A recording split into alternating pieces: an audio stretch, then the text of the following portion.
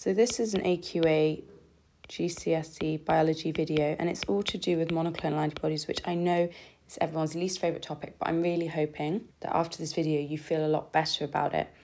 We're going to talk about how they're made, uses, their limitations of use, as well as look at some hard exam questions. So hopefully by the time you finish watching this video, you're going to feel a lot better. Now, we need to start with some key terms because without these key terms, you won't understand what's going on.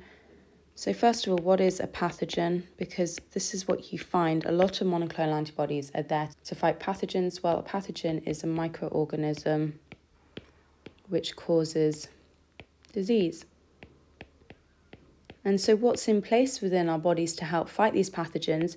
Well, it's the all important lymphocytes, which hopefully you've heard lots about with this topic. So, a lymphocyte is a type of white blood cell. It's able to recognize antigens. We'll talk about what an antigen is separately, and it can produce antibodies. So that's the really useful thing that a lymphocyte does. Notice, NB, very important, it can't divide quickly, which limits its use. Because if you're trying to produce a useful substance, you want whatever's producing the substance to be out to be able to divide quickly.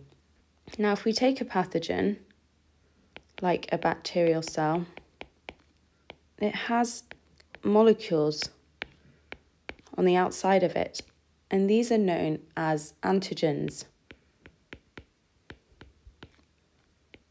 So, an antigen is a protein molecule that is located on the outside of a specific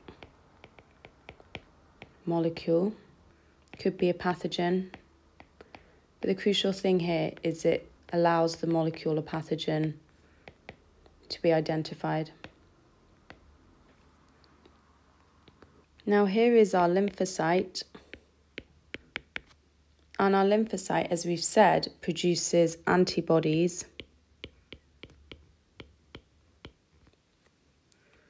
Which go ahead and recognize these antigens and effectively and effectively within our bodies they kill the pathogen.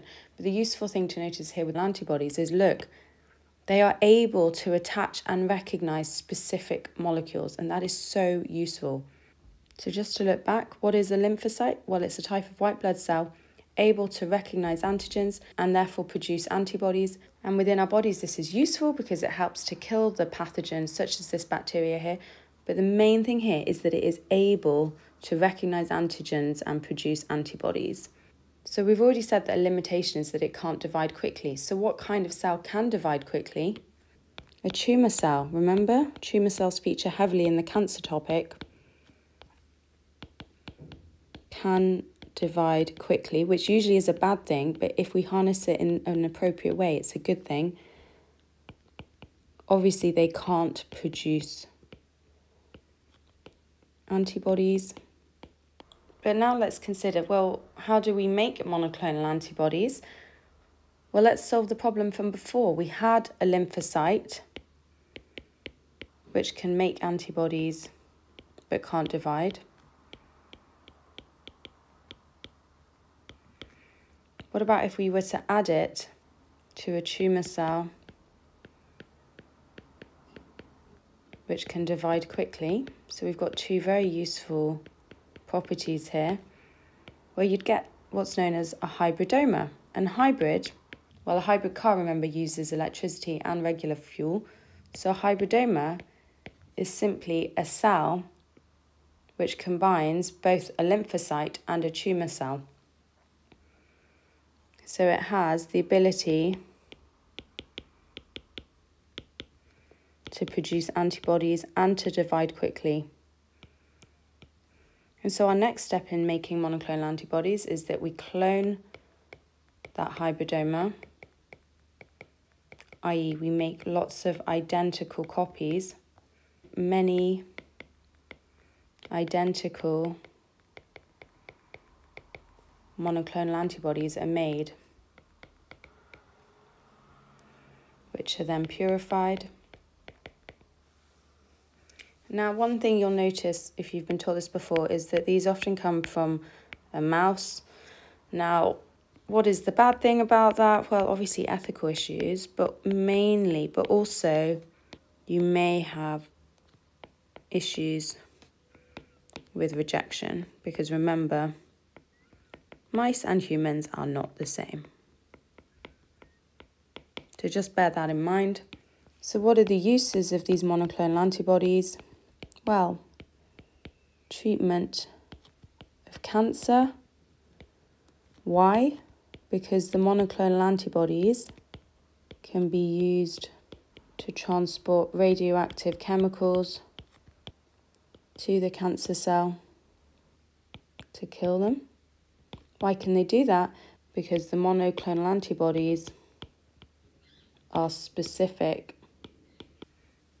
to the cancer cell, can be used to identify cancer, as well as other specific molecules. And what do those other specific molecules include? Well, so many different. What about HCG, which is a pregnancy hormone? So, if you really want to talk about what it can be used for, it can be used in pregnancy tests, these monoclonal antibodies. And why? How is it used? Well, let's steal the language from up here. So, the monoclonal antibodies can be used to transport dye to the specific cancer cell or HCG hormone. which is then detected. So the monoclonal antibodies are specific to the molecule. So these uses, even though they sound completely different, they are really sensible if you consider how a monoclonal antibody actually works. So just to highlight it, treatment of cancer, identification of cancer, pregnancy tests. In terms of advantages versus disadvantages of monoclonal antibodies, well, these are kind of like oxymorons because we say that they are highly specific. Monoclonal antibodies only target specific molecules, so potentially wide use. However, also mentioned are the disadvantages, which is there have been quite a few side effects which are unpleasant, leading to limited use. That's why I said it's an oxymoron, because an advantage is that they're supposed to be widely used. And where do those side effects arise from? From the fact that you're using the mouse antibodies. Right, now let's look at some past paper questions. So, first of all, let's define the following term. An antigen is a protein molecule that is attached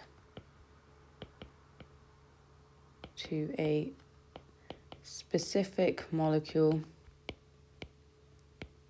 e.g., a pathogen, that makes it identifiable.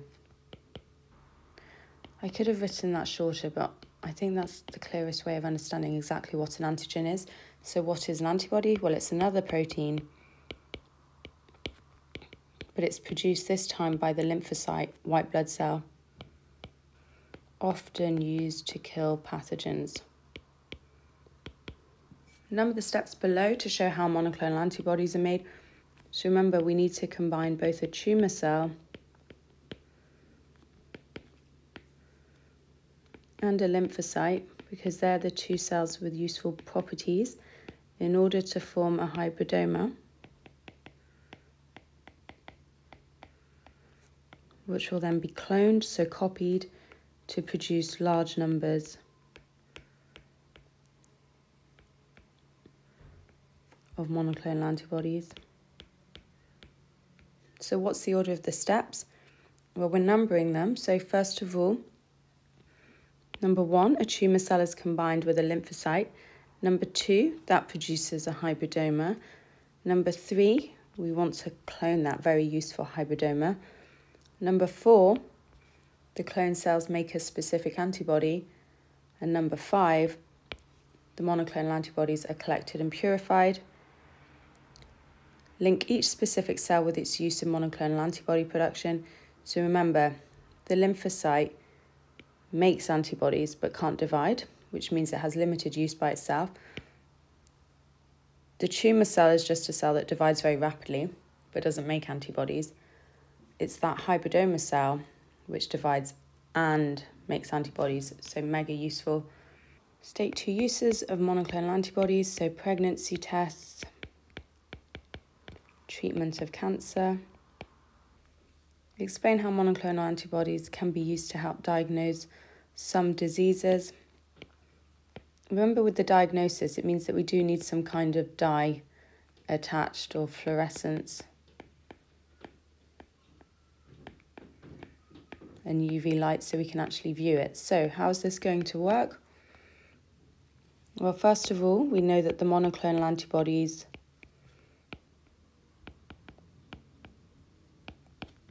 attached to antigen on specific pathogen. So that pathogen, remember, causes the disease. So many key terms here. Make sure your answers are filled with them. Monoclonal antibodies are also attached to a dye. This enables the disease to be identified. Monoclonal antibodies are used to measure the levels of hormones in the blood. Pregnant women produce the hormone HCG. HCG is excreted in urine. Figure 1 shows four pregnancy test strips A, B, C, and D. Make sure you look at this key. A positive test means that a line appears in the control window and the results window control window and results window. So this person here is actually pregnant. A negative test result means that a line appears only in the control window. So here's the control window. So this person is definitely not pregnant. Invalid test result means that no line appears in the control window. So this one is invalid. It's always good to make sure you're reading every single word and understanding what's going on, particularly with a question like this, which is difficult. So which test strip shows a negative result? Well, luckily I've already done the hard work. It's A. Monoclonal antibodies are used for pregnancy testing. Give one other use. So obviously don't mention pregnancy testing here. You can say many things here from treating or diagnosing cancers to identifying and locating specific molecules. I'm going to say treatment of cancer.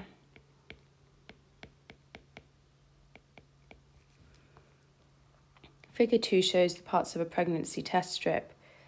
So we can see here that the urine is applied here. So you pee on a stick here and the urine is going to move upwards through the pregnancy test strip. Number two is the reaction zone. There are mobile antibodies specific to HCG here. So they're going to attach to the HCG if it's present in the woman's urine. Notice that the antibodies have a blue dye attached to them. So when they start moving, you will visibly see this as a movement of blue dye. Here's the results window. Immobilized antibodies specific to HCG show here. So that shows if you're pregnant. As we said higher up. Number four is the control window. Immobilized antibodies specific to the mobile antibodies from the reaction zone. So that's just proving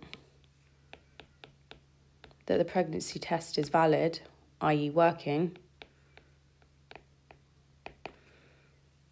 The pregnancy test strip will show a positive result when the woman is pregnant. Explain how the pregnancy test strip works to show positive results. So there's so much information in that question. Do not stress here. I know it's worth six marks, but just say A, what you see, and B, like, what does the woman have to do to try and get a positive test result out? So, first of all, the woman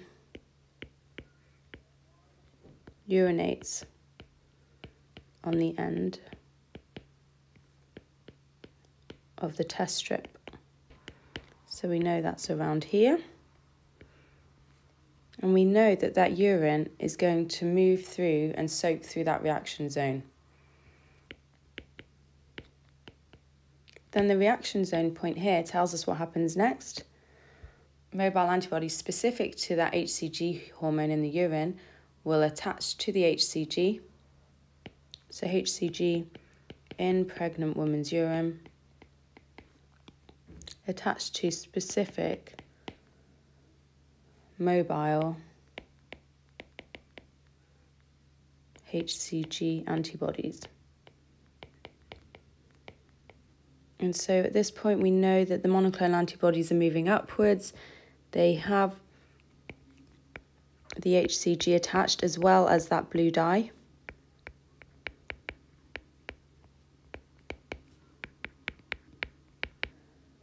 And so, what happens in the results window is that the HCG hormone binds to the immobilized HCG antibodies in the results zone. Remember, immobilized means they don't move, they're just waiting for the HCG.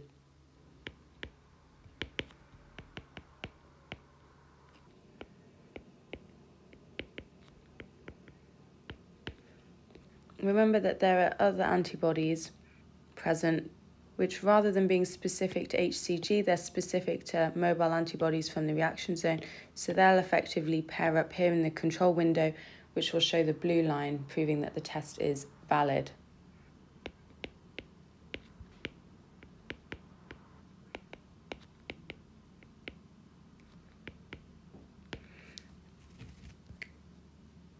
And finally, just point out this bit again. You can literally write this exact point here to get the final mark.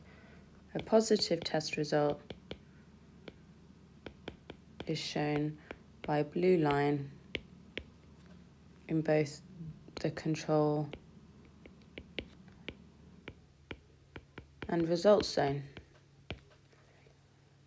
Monoclonal antibodies are usually made using mouse lymphocytes. Candida albicans infection which is actually known as thrush, produces serious symptoms in patients with a poor immune system. Recently, scientists have produced monoclonal antibodies to Candida albicans using human lymphocytes produced naturally after infection. Candida albicans lives in the throat of infected patients. A sample is taken from a throat of a patient with suspected infection. The sample is transferred onto a microscope slide. Describe how the monoclonal antibodies in a fluorescent dye could be used to see any Candida albicans pathogens on the slide. So how is this going to work? Well, first of all, we use that dye in order to identify the antibodies. What do the antibodies attach to? Well, they'll attach to the antigens on that Candida albicans. So the monoclonal antibodies attach to antigens, which remember is the marker on the pathogen.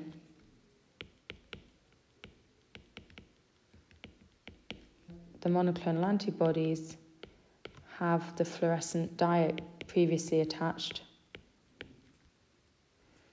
meaning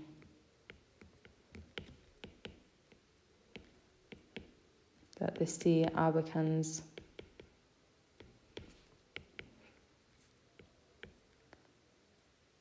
can be identified under a UV lamp. You're using a UV lamp because we've been told that the dye is fluorescent.